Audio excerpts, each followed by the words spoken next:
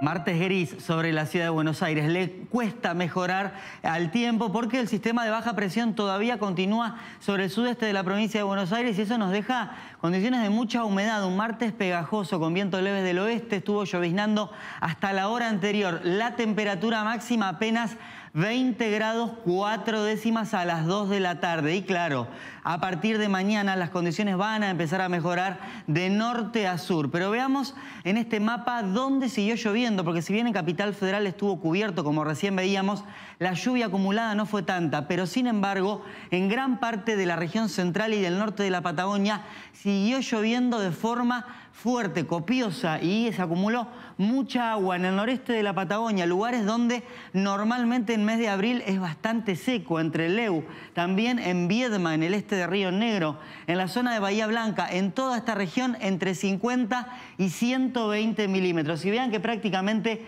en todo el centro, sur y norte de la provincia de Buenos Aires, lluvias que se extendieron y que dieron valores pluviométricos de 50 a 150 milímetros. Realmente mucha pero mucha agua y también lluvia fuerte sobre el norte del país. Todo este sistema de inestabilidad finalmente se está desplazando hacia el mar argentino y a partir de mañana se va a abrir una ventana de cuatro días seguidos con mucho sol y muy poquitas nubes. Lamentablemente a partir del domingo nuevamente condiciones de inestabilidad.